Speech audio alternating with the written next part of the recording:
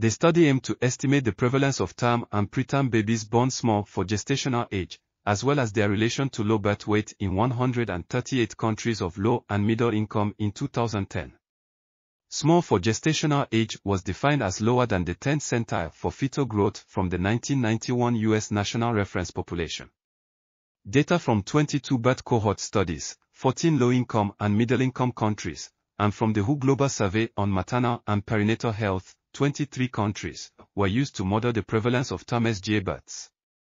Prevalence of preterm SGA infants was calculated from meta-analysis.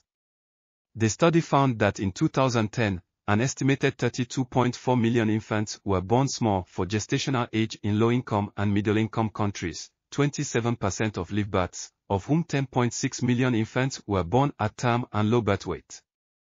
The prevalence of term babies ranged from 5.3% of live births in East Asia to 41.5% in South Asia, and the prevalence of preterm SGA infants ranged from 1.2% in North Africa to 3% in Southeast Asia. Of 18 million low birth weight babies, 59% were term and 41% were preterm SGA. Two-thirds of small for gestational age infants were born in Asia, 17.4 million in South Asia. Preterm SGA babies total 2.8 million births in low-income and middle-income countries.